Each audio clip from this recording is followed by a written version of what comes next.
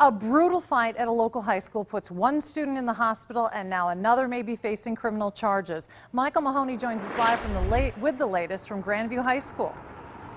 Indeed, Laura, like you said, Grandview High right behind me here. This happened Tuesday afternoon at the end of the day, around 2.30 in the afternoon. Now, the police say that it happened inside of the school. A 17-year-old got into a fight with a 14-year-old. Police say they don't know what it was about, but it was bad enough that the 14-year-old had to be taken to the hospital because of a head injury. The police say his condition is now improving.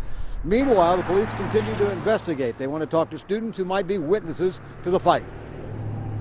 There were quite a few people in the halls and around the area, and, and we're going to investigate it and talk to the, the, the possible witnesses. We're trying to identify witnesses and, and interview them now. Now, the school district says the 17-year-old has not been suspended, at least not yet, because they continue to investigate the circumstances around a bad fight at Grandview High on Tuesday that sent a 14-year-old to the hospital. Michael Mahoney, KMBC 9 News. And once the police investigation is finished, the Jackson County Prosecutor's Office will decide if charges should be filed.